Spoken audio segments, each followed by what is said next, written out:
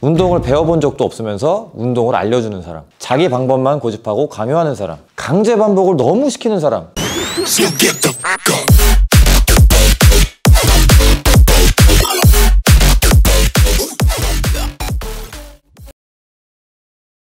여러분 혼자 운동하시는 분들도 많으시겠지만 둘 많게는 셋이서 운동하시는 분들도 많이 봅니다 저는 혼자 운동하는 걸 선호하지만 보조의 필요성을 절실하게 느끼는 경우도 있는데요 저처럼 혼자 운동을 선호하지 않는 이상 휴식 시간이나 서포팅 등을 고려했을 때 혼자보단 둘 둘보단 셋이 낫다는 생각입니다. 이 운동 파트너들 중에서 혼자 운동하는 이만 못한 여러 유형에 대해서 재미삼아 살펴볼까 하는데요. 최악의 운동 파트너 7가지 유형 가시죠.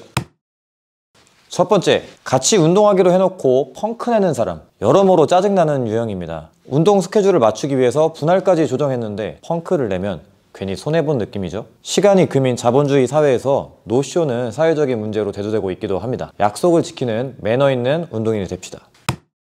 두 번째, 운동 지각해놓고 오래 하는 사람. 2시간 넘게 운동해서 힘도 없고 배도 고파집니다. 얼른 근성장을 위해서 식사를 해야 되는데 아직 안 털렸다면서 운동을 안 끝내고 팔 운동 5세트만 더 하자고 하는 운동 파트너 꼭 있죠? 이런 사람이 샤워까지 늦는다면 더 최악이 되겠네요. 사람마다 체력이 다른데도 본인의 볼륨에 맞출 필요 있을까요? 움직일 수 없을 때까지 운동할 필요는 없습니다. 매일 강도가 늘어날 수 있는지가 더 중요하니까요.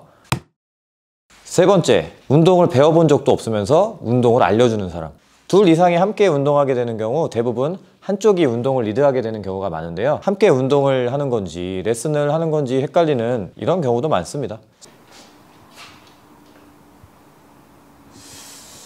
아, 자세가 잘못되신 것 같은데요. 제가 도와드릴게요.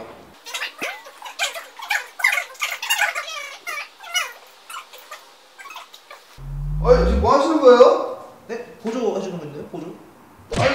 보자시면 안 되죠 이거 봐, 맞아요? 유튜브에서 봤어요. 네, 내려오세요. 유튜브에서 봤다고요? 유튜브 봤어요. 빨리 내려오세요. 내려오세요.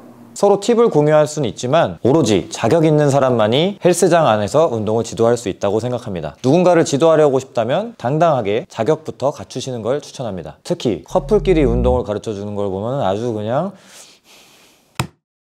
네 번째, 자기 방법만 고집하고 강요하는 사람. 이런 유형은 앞서 말한 2번 유형이 심화된 경우입니다. 트레이닝의 기본 원칙인 개별성과 특수성의 원리를 무시하는 이런 파트너는 운동에 대한 흥미를 떨어지게 만드는 가장 큰 원인이 되기도 하죠. 모두가 같은 트레이닝을 강요받을 필요는 없습니다. 보디빌딩만 또는 힘과 근성장만을 위해 운동하는 사람은 생각보다 없어요. 가장 중요한 건 건강과 흥미입니다. 하지만 돌고 돌아보면 결국엔 보디빌딩으로 돌아올 거라고 저는 생각합니다.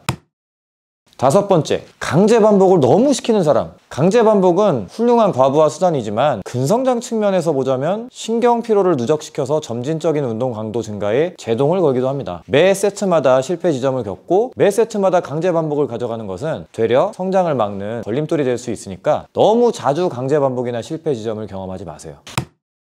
여섯 번째, 내 차례에 신경도 안 쓰고 핸드폰만 보는 사람. 서로에게 집중해주고 신경 써주는 게 운동을 같이 하는 가장 큰 목적이겠죠? 설마 트레이너가 이렇게까지 한다면 최악의 경우겠지만 오해도 있을 거라고 생각합니다. 저도 가끔 수업 중에 휴대전화를 보는 경우가 있는데 휴식 시간을 재거나 수업 취소 문자를 확인하는 경우가 대부분입니다. 이런 순간을 누군가 본다면 저는 수업 시간에 핸드폰을 보면서 회원을 방치하는 쓰레기 트레이너가 될 수도 있겠죠? 이런 오해를 피하는 방법은 태블릿 PC나 스마트워치를 사용하는 겁니다. 예, 돈 열심히 벌어서 트레이너 선생님들 오해받지 맙시다.